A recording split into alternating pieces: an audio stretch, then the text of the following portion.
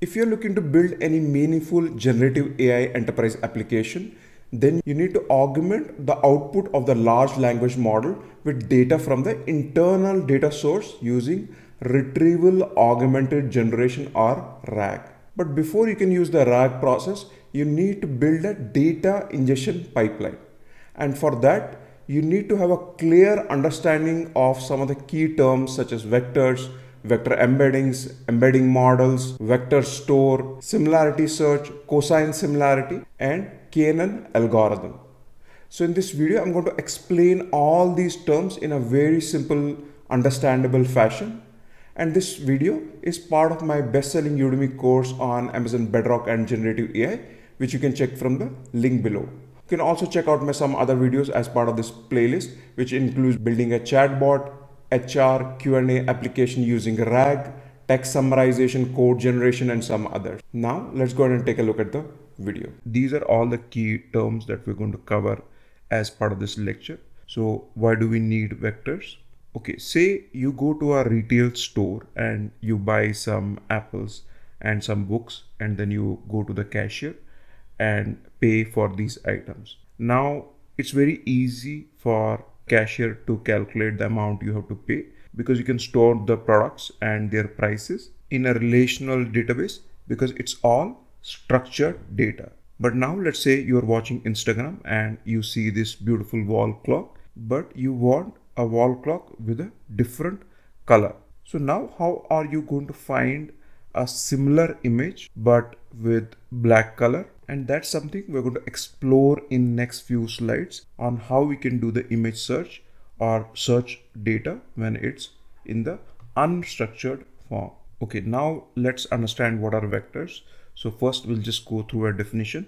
So vectors are basically mathematical representation of words sentences and documents. So what does that mean? So it means that words sentences or documents can be expressed as a list of numbers or sequence of numbers. Okay, now let's take an example. Say you have a word apple and you want to represent it as a vector. So basically you are going to try and represent it as I said a list of numbers. Now to represent this apple as a vector, it can have hundreds and thousands of dimension, but just for the understanding purpose, let's say that we just look at two dimensions. So we say is it a fruit? If it's a fruit then we say 1 if it's not a fruit then we say minus 1 and then we look at the cost per apple and say the cost of apple is four dollars.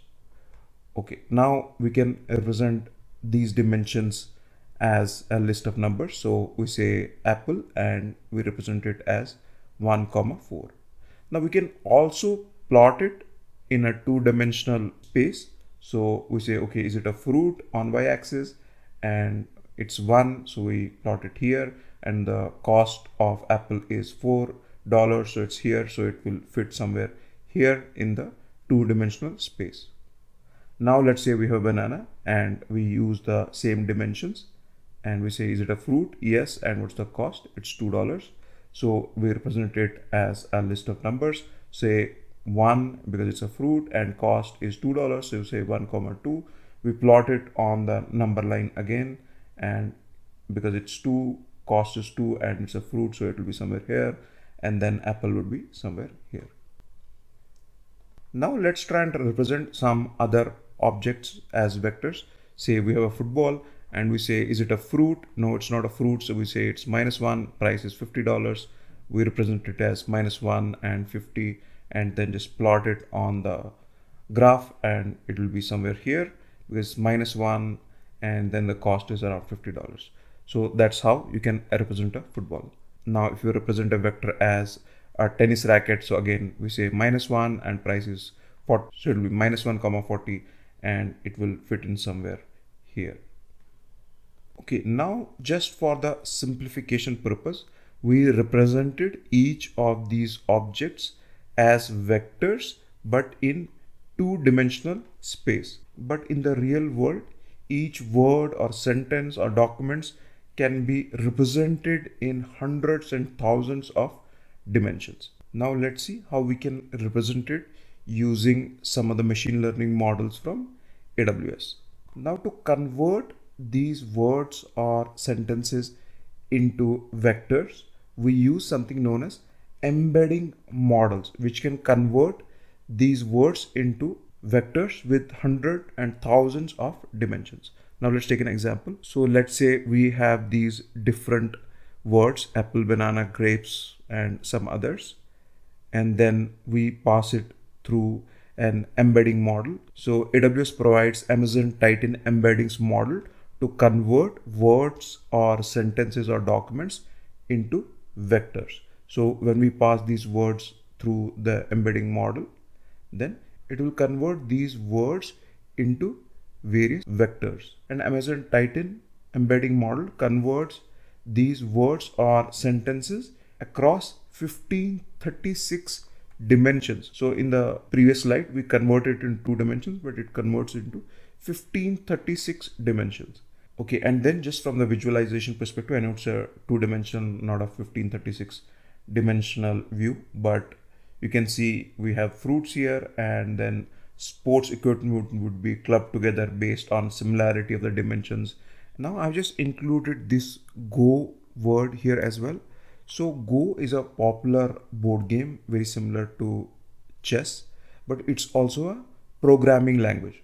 Now, one thing we need to understand when we say go, will it go to the sports equipment or the programming language here? The critical thing to understand here is that the embedding model would not convert the word or sentence just based on the keyword, but it will look at the meaning and context of that word to club it with similar objects. So we'll take a look at that in a little more detail in future slides. But one thing for now you need to understand is that these embedding models can create word embeddings, it can create sentence embedding as well as document embeddings. Okay, so here is an output from the embedding model.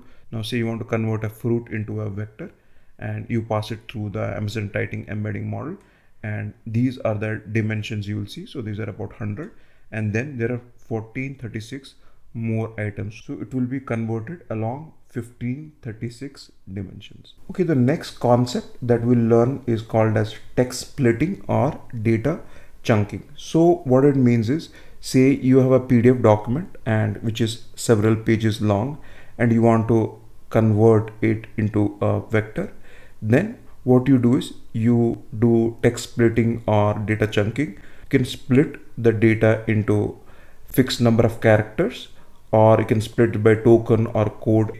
So now let's assume you want to split it by characters. So you say we split the document into fixed characters of around 200 and then for those 200 characters you will pass through the Amazon Titan embedding model and then convert it into a vector. Okay, next thing we need to know is vector store.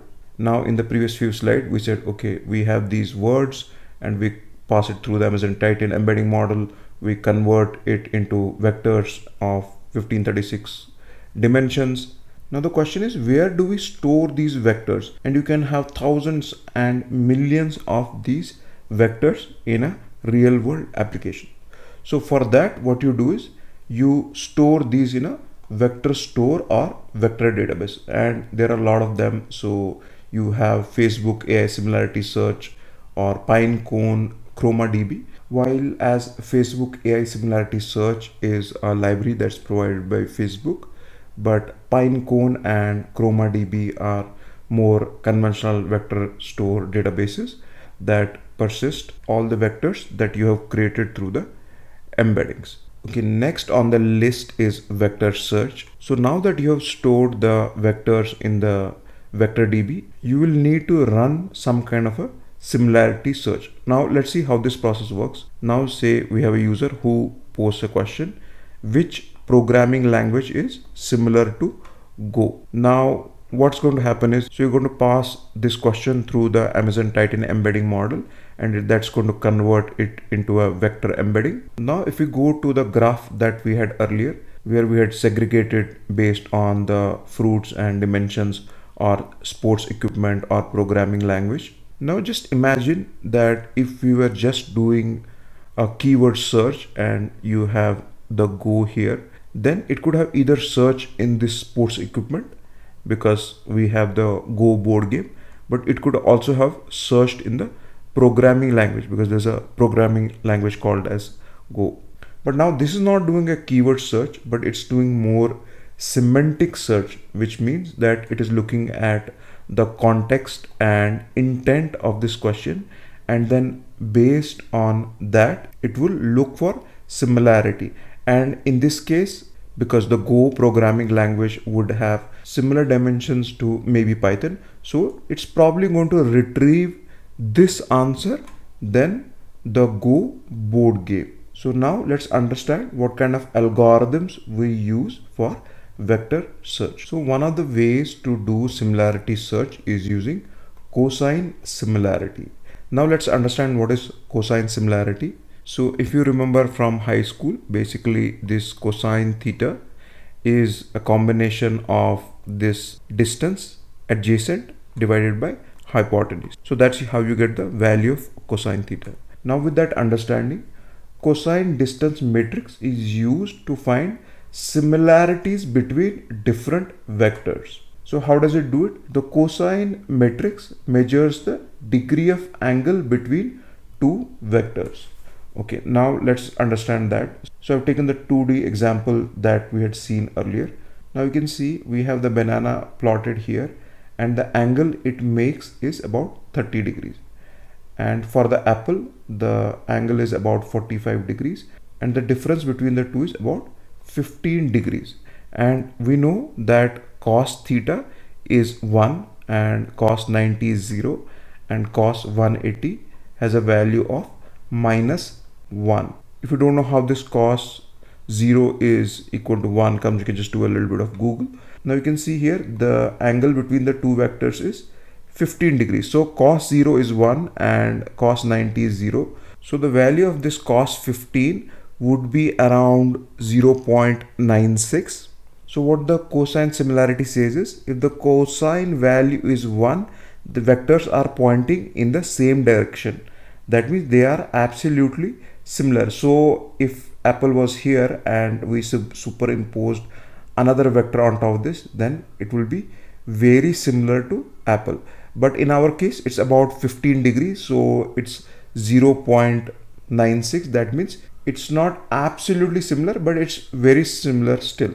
But now let's take the example of this programming language go and it makes an angle of 135 degrees. And if you see apple it makes a angle of 45 degrees. And if you just subtract 135 minus 45 so you get an angle of about 90 degrees. And if you see here cos 90 is 0 which means if you get a cosine value of 0 so you can see cos 90 and the angle between them is 90 degrees. So the value will be 0 if the cosine value is 0 that means vectors are unrelated. And which is true because you have the apple and go program language they are absolutely different. So there is very little similarity between the two. Now if you have the value as minus 1 that means they are absolutely in opposite directions. So that's how it measures the similarity between different vectors depending on the angle they make between each other. Hope you have got an idea on how similarity search works. So there is another popular algorithm called as k nearest neighbor algorithm that can use cosine similarity or some other matrix to to determine the similarity of different vectors. So KNN is basically a supervised machine learning algorithm that is great at classification and regression tasks. So in the initial few lectures, we learned about classification and regression. How does it work? Basically say you have a new item here or a new vector and there are already two clusters. You have the stars and a triangle now you provide the value of k so it can be either 3 or 7 or whatever you want so what it does is so it creates a cosine angle with all the existing vectors and then determines the closest neighbors. So depending on the value of k, it will determine which are the three nearest neighbors for this particular item and let's say it identifies these three and then these three are going to vote whether it belongs to a triangle or a square and if you determine k is equal to 7 then there will be seven items that are closest to it that will determine and vote whether it belongs to a triangle or a star. So KNN is a great algorithm for similarity search but the problem with this algorithm is that it will measure the angle with each of the items that you have in the vector DB which might not help with the performance. So instead of the k nearest neighbor, you use the ANN, which is approximate nearest neighbor. And this is much faster than the KNN algorithm. And sometimes you use this for similarity search. So I hope now you have clarity of all these key terms that we have discussed. I hope you like this lecture. I'll see you in the next lecture.